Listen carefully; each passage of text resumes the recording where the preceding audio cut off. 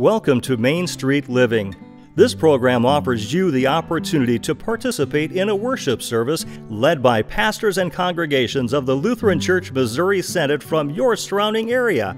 On today's program, that your God and mine, Father, Son, and Holy Spirit, would not have you or us bound to our sin, not to your sin, nor to those that have been done against you. By forgiving you, Jesus releases you from sin, both from its guilt and from its power. The service will begin after this opening hymn.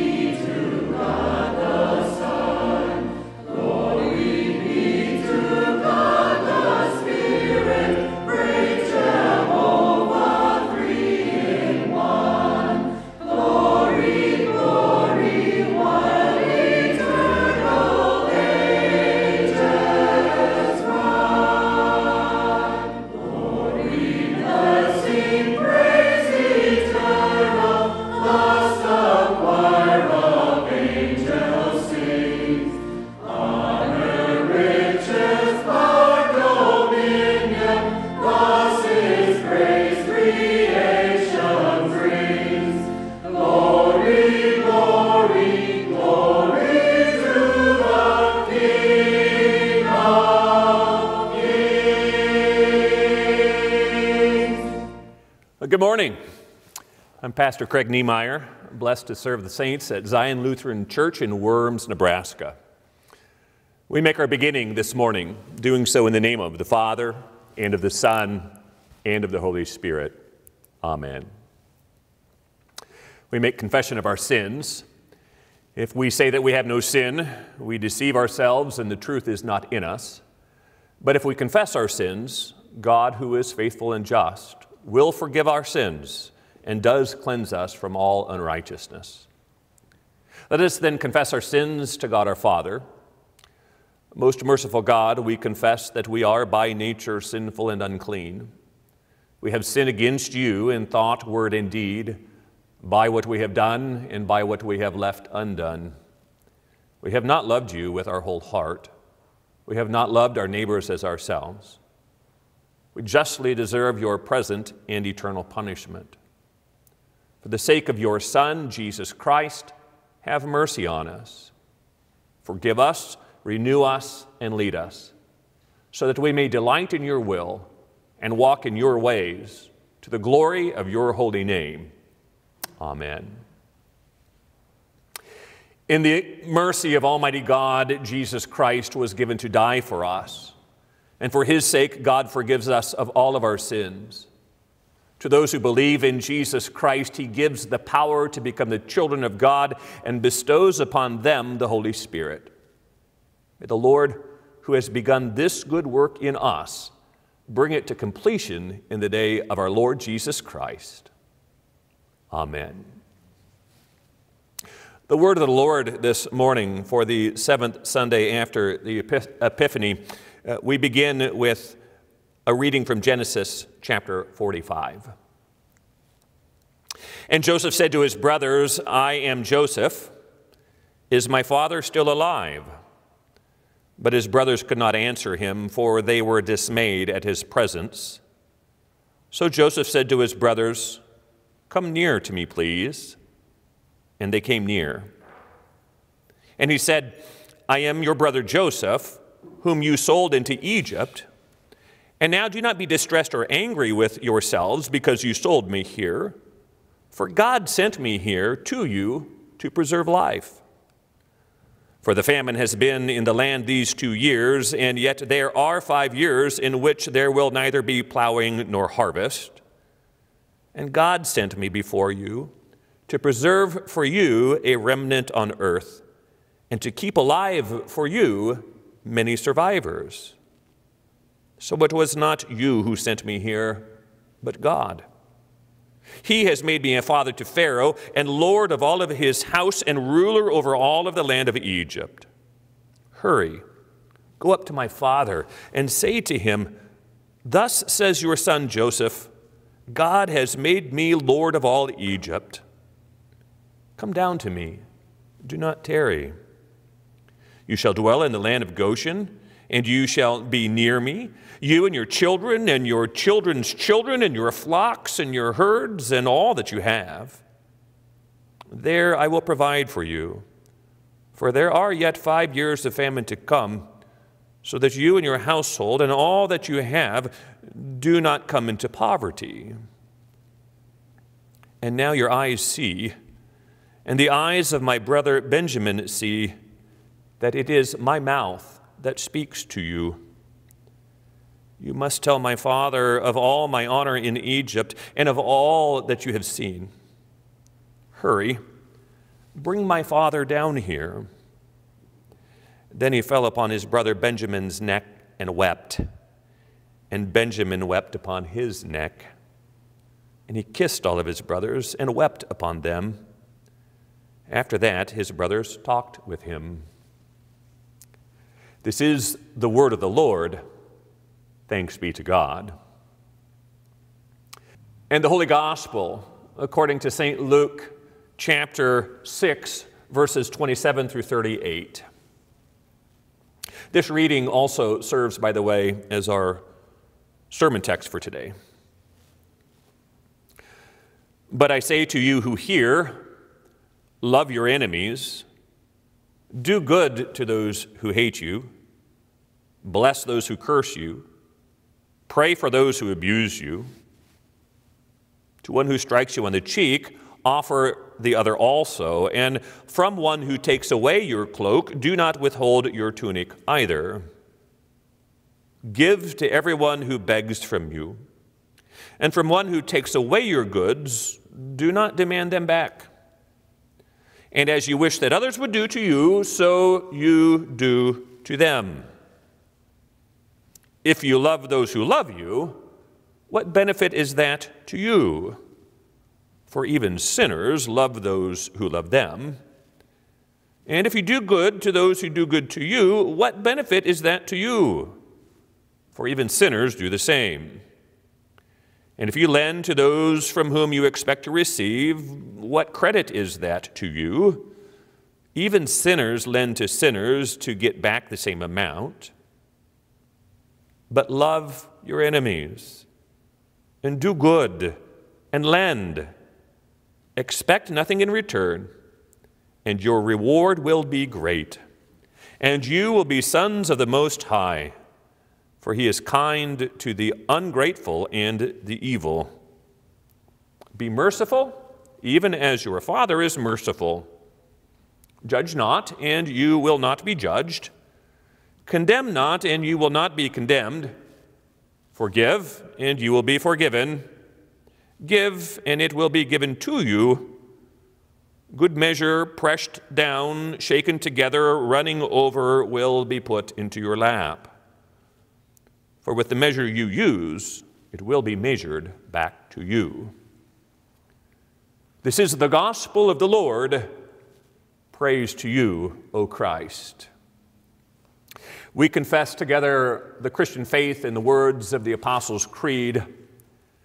I believe in God the Father Almighty, maker of heaven and earth, and in Jesus Christ, his only Son, our Lord, who was conceived by the Holy Spirit, born of the Virgin Mary, suffered under Pontius Pilate, was crucified, died, and was buried. He descended into hell. The third day, he rose again from the dead. He ascended into heaven and sits at the right hand of God the Father Almighty. From thence he will come to judge the living and the dead. I believe in the Holy Spirit, the Holy Christian Church, the communion of saints, the forgiveness of sins, the resurrection of the body, and the life everlasting. Amen.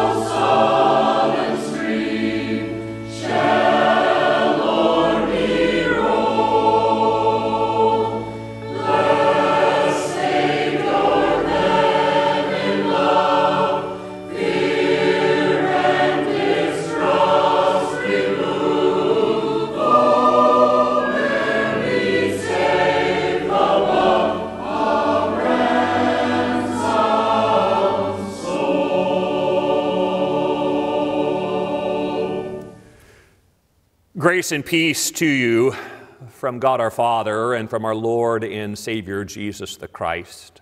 Amen. Once again, the text for my message today is that first reading from Genesis earlier proclaimed. How long? How long had it been? How long had it been since Joseph had last seen these brothers of his? Some might say, not long enough. I mean, remember the backstory? Jealous over their father's gift of that dazzling coat, they had sold him their brother off as a slave. That really their backup plan, done after having first given serious consideration to ending his life. What was that passage of time since when he had last seen them? Well, I'll just take the numbers that are presented before us today and do the simple math and say, hey, it has to be at least 14 years. And ever since that fateful day when his brothers had decided to treat him as, well, as good as dead to them, Joseph is rescued.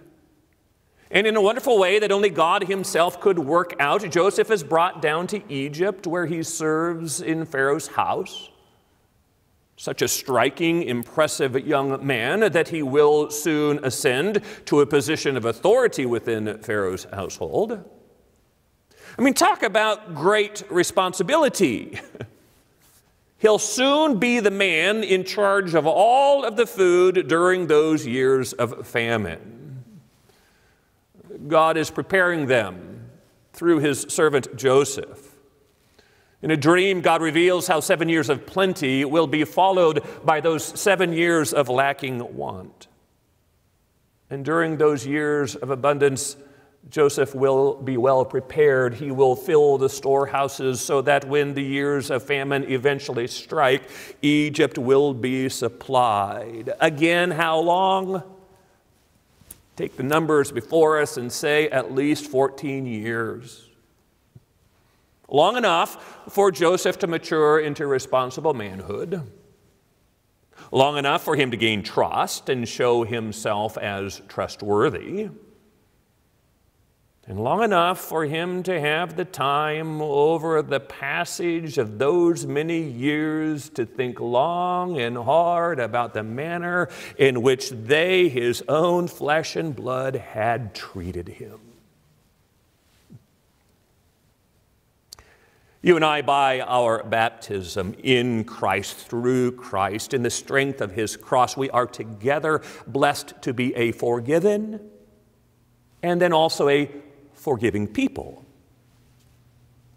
Our Father in heaven, who has released us from the debt of our sin in the death of his Son, has given the prayer Forgive us our trespasses as we forgive those who trespass against us. Blessed freedom and wonderful gift that comes straight to us from Calvary by way of baptism. Great gift, but not always easy. You know it from the life that you live. Sometimes hard because of, well, maybe the number of times that we are sinned against. That kind of seems to be Peter's issue when in Matthew 18 he asks, Lord, how often will my brother sin against me and I forgive him? As many as seven times do the math and you can ask yourself the question is he here being generous? I mean, what a guy. Peter here offers to forgive the repeat offender not just once, not just three times, but a good old biblical number seven. But then again, the Lord Jesus has dropped dead to not just some of our sins not just seven of our sins or 70 of our sins, but absolutely all of them at Calvary's cross. And with that love, then, with that love that forgives also his enemies, Jesus says in response to Peter, You want a number? Well, I do not say to you seven times, but 77 times, aka the perfect number of times, the complete number of times, and that math will always correspond exactly to all of those times that the offending sinner needs from you the great gift of grace, the gift of Jesus, his forgiveness given unconditionally, no strings attached. Sometimes it is the repetition of a sin that stirs the flesh and makes us to start thinking in the quiet of our heart about getting even. Sometimes it's also the magnitude of the event that may cause that event to grow even larger in our minds than it actually was over and with the passage of time. I mean, that happens, doesn't it? Sometimes the longer the clock ticks, the hazier the picture becomes, and so the glory days are probably in our minds always better in retrospect looking back on them than they actually probably were in the living out of them. You kind of have to be careful, sure, lest that modest deer that you shot back in November almost grows into a trophy the more you tell the tale through the months of the holiday season. Your old Adam, like mine, must return to the waters of baptism every day as we confess our sins and receive our Lord's full forgiveness in faith. Because you see, if we keep nursing that grudge, and we keep massaging that pain in our heart and our mind over and over and over again. That event is going to grow, and also our old Adam sinful flesh along with it. And it may grow so big in our mind that it actually seems to us even bigger and beyond the cross of Jesus the Christ. And you know the lie there free grace, sweet gospel, absolutely no sin is beyond the price of Jesus' shed blood. All sins have been atoned in the sacrifice of our Savior at Golgotha. So complete is His work that the only thing that can keep you apart from Him now is, well, the persistent belief that He didn't die for your sins or that you're such a great guy or gal for some reason you don't think that you need Him to do so for you. Part of the miracle and marvel of this text is how the love of Jesus is evident in Joseph as his brothers there stand before him after that long passage of time. Right? What's a man of God to do in a situation like that when it's been so long? And now he has the power, if he wants to, he can send them away in this time of famine empty handed. Can't you hear the cheer from the bloodthirsty crowd? Also, likely from those who sit in positions of power yet today. Here you go, Joseph. Here's your chance. In our world, what comes around goes around. You let those brothers of yours deal with the deadly problem of that famine all on their hungry own. But then again, Jesus, at the end of our gospel lesson for today, he says that with the measure you use, it will be measured back to you. And from the cross, he calls for the forgiveness of all, included we who had hated him with our sin. Yes, in this moment, from this platform, Joseph can do pretty much whatever he likes. Thanks be to God, all praise to Jesus through his saving grace. Out of the love of Jesus, Joseph does not forget the God who delivers him. The wages of sin is death. But the gift of God in Christ Jesus is life, and life through forgiveness, and so that they may also live. Joseph will then drop dead to all of those sins of those who had tried to kill him.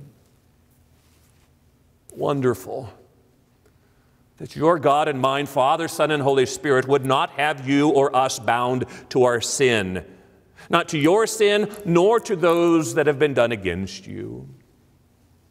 By forgiving you, Jesus releases you from sin, both from its guilt and from its power. And when you forgive, well, well, when we forgive, we're not saying that we're not going to remember the sin or won't feel the pain anymore. Let's be honest, that's likely impossible, at least this side of heaven. But by forgiving, you see, you're not only releasing the other person from the consequences of their actions, but equally as good, by forgiving, in a very real sense, you are also releasing yourself, your heart and your mind from the consequence of their action. For Christ's love is greater than hate, and His saving grace always conquers the revenge I had once sought to get. Really, that's why time goes on. These days are full of and for, Christ says, they're full of and for forgiveness. In his second letter, St. Peter says that the Lord is not slow to fulfill his promise, as some understand slowness, but he is patient towards you, not wishing that any should perish, but that all should reach repentance. And you know, if God is so patient, and if He's allowing time to march on today so that He can both forgive us and also reach out through us and the church with His forgiveness, what might our attitude be while we watch and wait through the passage of time for His glorious return? Joseph saw the moment and chose to act. When given the chance, he says to his brothers, You heard it proclaimed already. He says, I am your brother Joseph, whom you sold into Egypt. And now do not be distressed or angry with yourselves because you sold me here. For God sent me before you to preserve life. God sent me before you to preserve for you a remnant on earth and to keep alive for you many survivors. God was present in, in the situation and working for good as He promises. God works in all things for the good of those who love Him, who are called according to His purpose.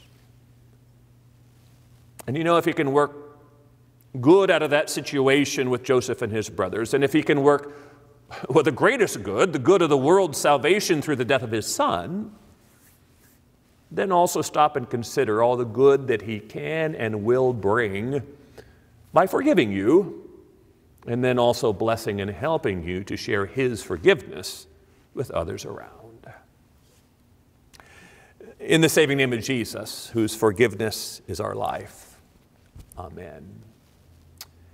Now may the peace of God, which surpasses all human understanding, keep your hearts and your minds in Christ Jesus. Amen. Let us pray together the prayer that our Savior Jesus has taught us to pray. Our Father, who art in heaven, hallowed be thy name. Thy kingdom come, thy will be done on earth as it is in heaven. Give us this day our daily bread, and forgive us our trespasses as we forgive those who trespass against us Lead us not into temptation, but deliver us from evil. For thine is the kingdom and the power and the glory forever and ever. Amen. Receive now the benediction. The Lord bless you and keep you.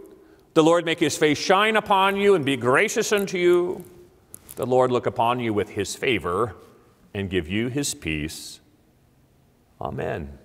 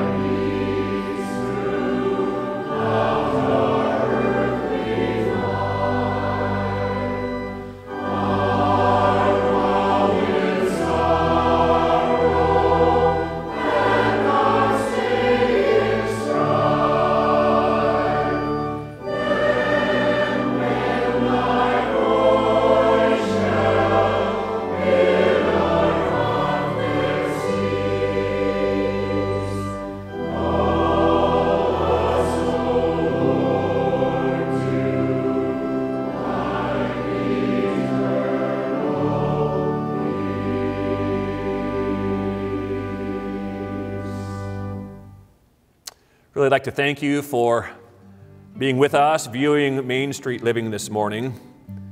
Our hope is that you have been blessed and encouraged by this presentation. If you are able to attend any of the local services, I'd love to invite you to worship with us.